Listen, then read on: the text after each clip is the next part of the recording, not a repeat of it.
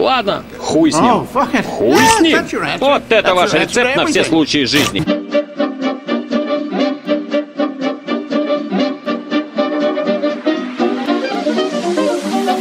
You don't know